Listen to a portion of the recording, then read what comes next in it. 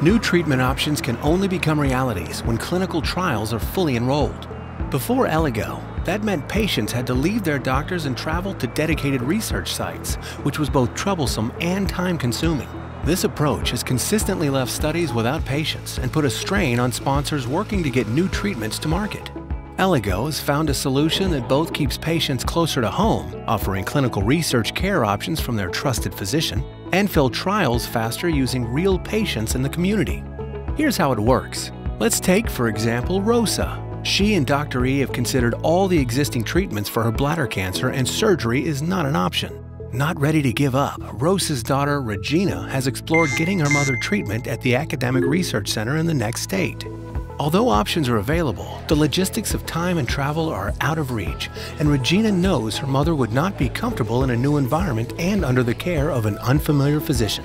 Luckily for Rosa and her family, Dr. E's office has recently partnered with Elligo to offer clinical research as a care option.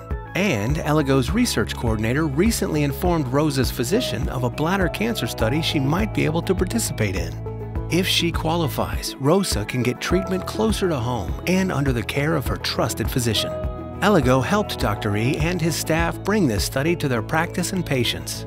Elligo's study coordinator will handle all the required paperwork and will contact Rosa and other patients to pre-qualify them for possible study participation.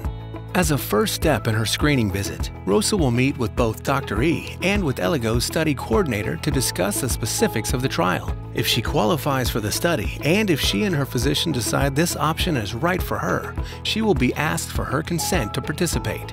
Once Rosa qualifies and decides to join the trial, Elligo's study coordinator will become a partner in her care, answering questions and taking care of all the details throughout the study.